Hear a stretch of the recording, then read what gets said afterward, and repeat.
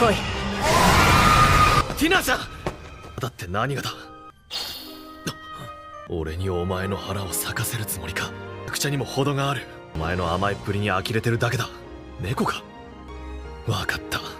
やってやる。お前は。俺の唯一無二だ。余裕で勝つぞ。ええ。もちろん。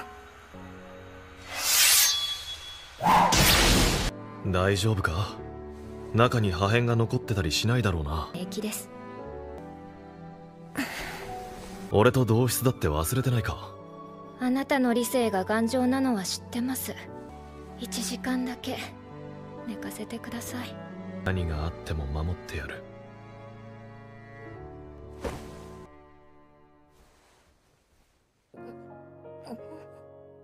せっかく眠れそうだったのに